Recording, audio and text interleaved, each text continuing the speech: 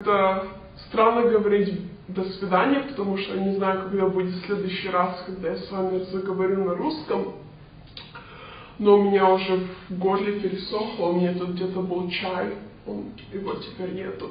Вот. Я надеюсь, вам это видео понравилось. А, да, оставляйте свои комментарии, я очень обещаю, я вам прочитаю и отвечу на сколько я смогу. И да, я вас очень люблю. Пока!